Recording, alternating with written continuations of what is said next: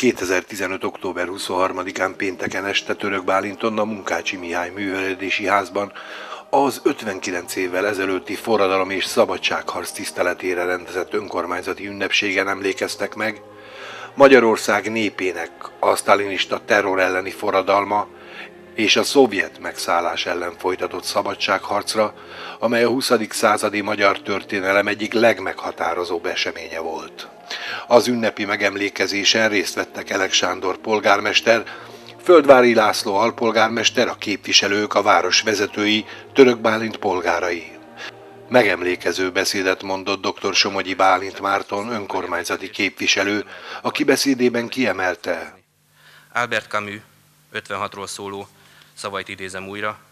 Létezik egy igazi Európa, mely abban egységes, hogy az igazság és a szabadság nevében ellenszegül a zsarnokságnak. A magyar szabadságharcosok ezrei ma ezért az Európáért halnak meg. Köszönöm szépen a figyelmet.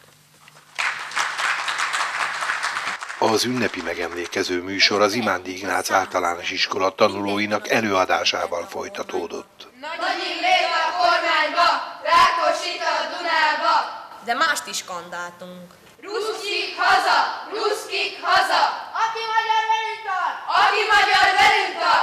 Kísérő rendezvényként fákjás felvonulást tartottak az Imándi Ignác általános iskola szervezésében a Diós kertbe, ahol a polgármester, alpolgármester és a képviselők koszóinak elhelyezése után pártok, intézmények, egyesületek helyezték el a megemlékezés virágait.